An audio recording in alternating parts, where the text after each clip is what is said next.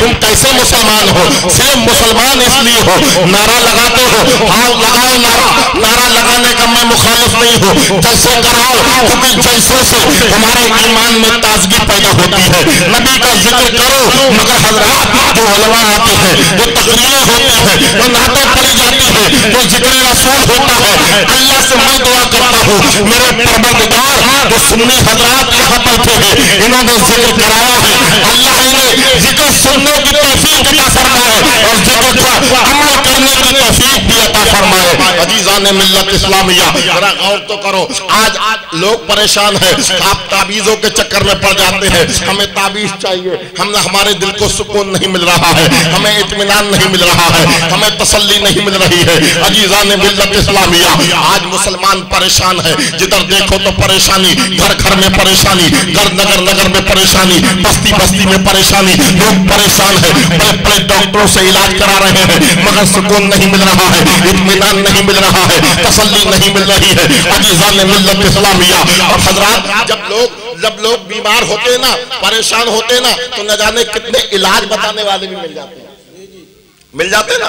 इलाज बताने वाले भी। बहुत इलाज बताने वाले मिल जाते हैं। हजरात, आपने देखा होगा, मगर सुनो, मेरे दोस्तों और बुज़ुर्गों, जरा गौर तो करो। कहते हैं कि ऐसा करो, फला डॉक्टर के पास चले जाओ। क्यों? तुम्हारे दिल को सुकून मिल जाएगा। तुम्हारी परेशानी दूर हो जाएगी। मगर हजरात वहाँ गए हैं, मगर सुकून न मिला। किसी ने कहा, फला हॉस्पिटल चले जाओ। वहाँ भी गए, सुकून नहीं मिला। किसी ने कहा, हवाई जहाज़ की गोद में झूलिए तुम्हारे दिल को सुकून मिल जाएगा। हवाई जहाज़ की गोद में झूले हैं, मगर सुकून न मिला है। कहने वाले ने कहा ए लोगो, एक काम करो, अच्छी गाड़ी लग्जरी में घूमिए। तुम्हें सुकून मिल जाएगा। अच्छी कार भी खरीदी है, मगर सुकून न मिला। किसी ने कहा एयर कंडीशन मकान में बैठिए एयर कंडीशन रूम बना लिया गया है। उसमें बैठे हैं। मगर सुकून वहाँ भी ना मिला है। इतमान वहाँ भी ना मिला है। करार वहाँ भी ना मिला है। दिल को तसल्ली वहाँ भी ना मिली है। ये मुसलमानों, आखिर सुकून मिलेगा कैसे? किसी ने कहा, शराब पीजिए। शराब पीने से दिल को सुकून मिलेगा। शराब पी है, मगर दिल को सुकून न मिला है। किसी ने कहा, जुआ के अड्डे पर जाइएगा और जुआ खेलिएगा। दिल को करार आ जाएगा। जुआ खेला है, मगर दिल को सुकून न मिला है। अजीजान मिल्लत इस्लामिया आदमी परेशान है आखिर करे तो क्या? शराब पी है, मगर सुकून न मिला। जुआ खेला है, मगर सुकून न मिला। आप मुतवाइफ के कोठे पर गए हैं, मगर सुकून न मिला। लग्जरी गाड़ी में घूमे हैं, मगर सुकून न मिला। अब आदमी परेशान है, तमाम बस्ती के लोग एक चौराहे पर जमा होते हैं और कहते हैं, ए भाइयों, सुकून कैसे मिलेगा? ए भाइयों, इत्मीनान कैसे मिलेगा? ए भाइयों करार कैसे मिलेगा? तो हम मोहम्मदपुर का एक नौजवान खड़ा होता है। तो चलो चलो। हॉस्पिटल नहीं जाएँगे। डॉक्टर के पास नहीं जाएँगे। इंजीनियर के पास नहीं जाएँगे। गाड़ी नहीं जाएँगे। चलते हैं। चलो। मस्जिद में चलते हैं। तमाम मोहम्मदपुर के लोग जमा होते हैं। और एक चौराहा जमा होने के बाद मस्जिद के दरवाजे पर पहुँच जाते हैं। और आवाज़ लगाते इमाम साहब। इमाम साहब ने आवाज़ सुनी। बाहर निकल कर गए देखा तमाम लोगों का जम गफीर है। तेज़ी के साथ जीने से नीचे उतरे, पूछा, भाइयों, क्या हो गया? क्या कोई मुसीबत आई है? क्या कोई परेशानी आई है? इमाम साहब, हम बहुत परेशान हैं। इमाम साहब, हमारे दिल को सुकून नहीं मिलता। इमाम साहब, हमने शराब पी है, मगर सुकून न मिला। इमाम साहब, हमने जुआ खेला, मगर सुकून न मिला। इमाम साहब, हमने तबाइफ के कोठे पर गए, हमें सुकून न मिला। नौजवानों ने कहा, इमाम साहब, रात को दो दो बजे तक हमने न जाने कितनी लड़कियों से बातें की है, न जाने किस किस की माँ और बहनों का।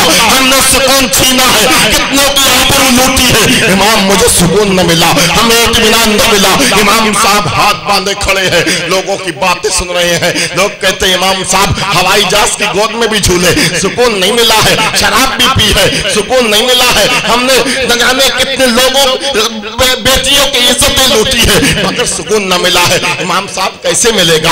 इमाम साहब सुकून कैसे मिलेगा? बरेली हॉस्पिटल में भी दिखाया, बदायूं भी दिखाया, अलीगढ़ भी दिखाया। दिल्ली भी पहुँचे हैं, मगर सुकून न मिला। इमाम साहब ने कहा अच्छा तुम क्या चाहते हो? यहाँ क्यों आए हो? यहाँ किस लिए आए हो? इस मेरे पास क्यों आए हो? मैं कोई डॉक्टर हूँ, मैं कोई इंजीनियर हूँ, मैं कोई मैं कोई मैं कोई सर्जन हूँ, मैं तो कुछ नहीं हूँ, मैं तो मौलाना साहब हूँ, मैं तो नमाज़ पढ़ाता हूँ। लोगों ने कहा, इमाम साहब, कोई रास्ता बताइए। हजरात कारी साहब ने कहा, ठहरो, जरा वज़ू करता हूँ। कारी साहब ने इसी टंकी पर वज़ू किया है, इसी नल पर वज़ू किया है और वज़ू करने के बाद मस्जिद में गए हैं और मस्जिद की अलमारी में एक किताब रखी होती है। जिस किताब का नाम कुरान है। दुनिया की सबसे अजीम किताब वो है जिसको जिसको कुरान कहते हैं। इमाम साहब ने कुरान निकाला है, रहल पे रखा है और हाथ जोड़ करके कुरान की बारगाह में हाजिरी देते हैं। ये कुरान तू बता दे। ये कुरान ये मोहम्मदपुर के लोग आए हैं। ये कुरान ये मेरा मेरे मुक्तदी है।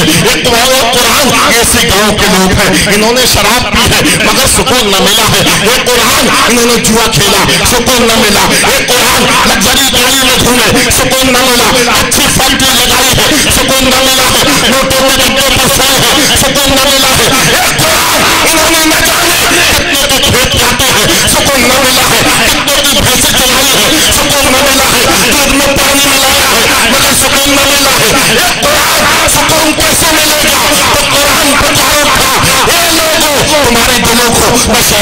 सुकून मिलेगा न जुए से सुकून मिलेगा न अयाशी से सुकून मिलेगा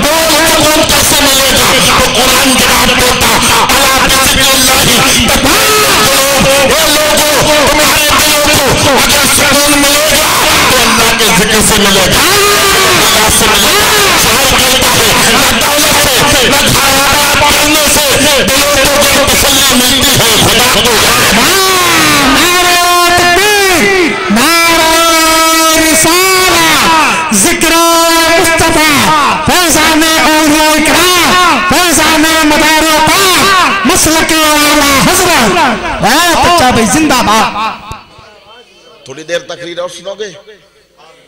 सुनोगे अच्छा लग रहा है आप लोगों को। नौजवानों नौजवानों, सुधर जाओ। तुम भी नौजवान हो, तुम भी नौजवान हो। करबला में भी नौजवान थे। तुम भी नौजवान हो। मैदान करबला में भी नौजवान हैं। हजरात, मेरा मौजू उधर नहीं, मगर मैं एक बात कहना चाहता हूँ। जब करबला में इमाम हुसैन को लोगों ने घेर लिया, बाईस हज़ार का लश्कर इमाम के खून का प्यासा। करबला के करीब ही में एक बूढ़ी औरत रहती थी। नौजवानों, तुम भी नौजवान हो सुनो बूढ़ी औरत रहती, उस बूढ़ी औरत का एक ही बेटा चंद दिन हुए शादी होकर के। उस बूढ़ी औरत ने रात में अपने बेटे को बुलाया, बीबी के कमरे की तरफ़ जा रहा था। कहा, बेटा, एक मिनट, मेरी बात सुन लीजिए अम्मी बोलो, क्या बात है? कहा, बेटा, मेरे नबी के बेटे आए हैं, मेरे नबी के शहजादे आए हैं, फातिमा के नाद के पाले आए हैं, और उन्हें दुश्मनों ने करबला में घेर लिया है, शहजादे। मेरे बेटे, करबला में घेर दिया मेरी, मैंने तुझे पाला। कम्मा, तू क्या चाहती मुझसे? कम, मैंने तुझे अपना दूध पिलाया, जवान किया, तेरी शादी हो गई। मेरे नबी के शहजादों को दुश्मनों ने घेर लिया है। मैं चाहती हूँ, मैं चाहती हूँ तू जा। मैदान करबला में जाकर के इमाम हुसैन के कदमों पर कुर्बान हो जा। और अगर तू ज़िंदा रहा, अरे मामे हुसैन और उनके साथी शहीद हो गए तो कयामत में मैं अपने नबी को क्या जवाब दूँगी? कयामत में अपने नबी को क्या मुँह दिखाऊँगी? अजीजा ने मिल्लत इस्लामिया, नौजवान ने कहा, अम्मी जान, तेरी बात तेरी बात सराखों पर, तेरा हुक्म सराखों पर, मगर माँ एक बेटी भी मेरे घर आई है। जिसने माँ को छोड़ा भाई को छोड़ा अजीजों को छोड़ा, रिश्तेदारों को छोड़ा सबको छोड़ करके मेरे घर आई है। क्या उससे इजाज़त ले लू? माँ ने कहा, ठीक है बेटा, तू चला जा। अगर मान लेगी तो कल कयामत में मैं शहीद की माँ कहलाऊँगी। अजीजा ने मिल्लत इस्लामिया। अब पहुँच गए बीबी के पास। आज की कोई बेटी होती, आज की कोई औरत होती तो वो जाना तो दूर बात है। मैदान करबला में शहीद होना तो बड़ी बात है। जाने की इजाज़त भी नहीं देती। हजरात, अगर आओ, देखो, आज की औरतें जो है, अपने नौजवान, अपने अपने शौहरों को दाढ़ी रखाने की इजाज़त नहीं देती तो गर्दन कटाने की इजाज़त क्या देंगी? अजीजा ने मिल्लत इस्लामिया, मेरे मोहम्मदपुर के सुन्नी भाइयों, मदारे पाक से मोहब्बत करने वालों, जरा गौर तो करो, वो वही मदारे पाक किसी और के बेटे नहीं है। मदारे पाक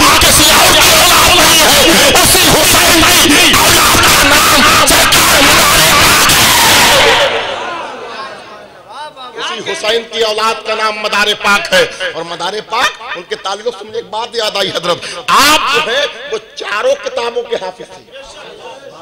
चारों किताबों के हाफिज सरकार मदारे पाक। जरा गौर करो।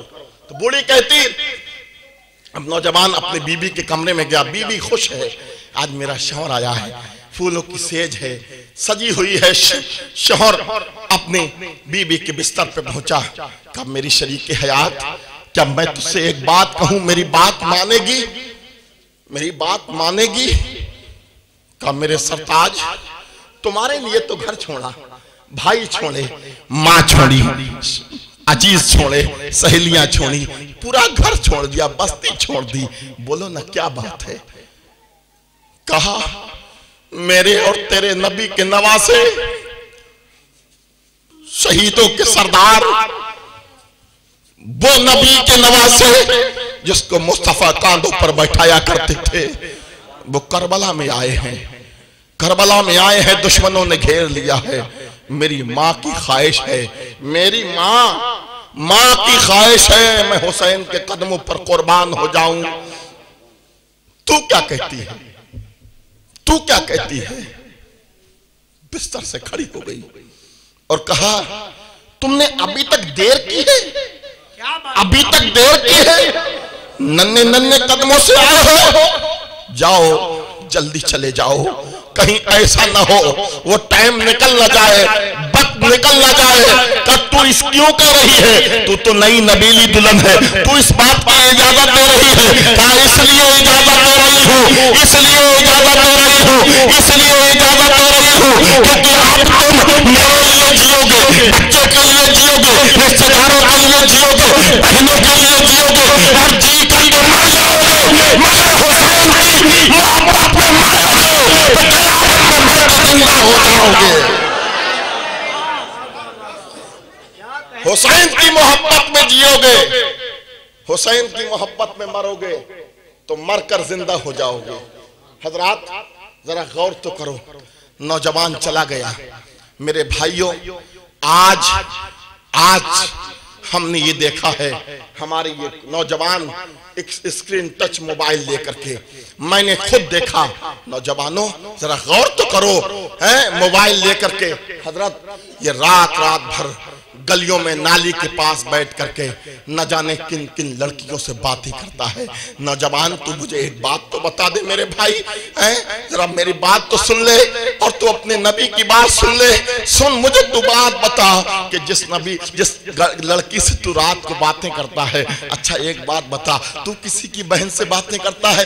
कोई तेरी बहन से भी बातें करता होगा, तुझे कितना गुस्सा आएगा? तू किसी बहन की आबरू लूटेगा, तेरी बहन की कोई आबरू लूटे तो तुझे कितना गुस्सा आएगा। हजरात, सोच, जब कोई नंगा सर, नंगे सर हमारी बहन निकल के जाए तो उसकी गर्दन को न देख, उसके सीने को न देख, उसके गालों को न देख, उसके बालों को न देख, मगर उसके सर पे दुपट्टा न हो तो उसे डांट के कह दे, बहन, घर से बाद में निकलना, पहले सर पे दुपट्टा रख के निकल। ये है मुसलमान। ये है शान मुसलमान की। हमारी माँ बहनें नंगे सर घूम रही हैं। बेहया है। हमें कोई परवाह नहीं। और आज का हाल ये है कि हम लोग अपनी बहनों को, अपनी बेटियों को, हम लोग हम लोग न जाने कैसा कैसा पहनावा पहनाते हैं। मेरे नौजवानों, मेरे भाइयों, सुनो, आज तो रात के तीन तीन बजे तक ना जो लड़कियों से बातें करता है ना, मोबाइल पे बातें करता है ना व्हाट्सएप पे बातें करता है ना फेसबुक पर बातें करता है, सुन, न तुझे फेसबुक वाला जानता है, न व्हाट्सएप वाला जानता है, न ट्विटर वाला जानता है, न इंटरनेट वाला जानता है तो जो बातें करता है, रात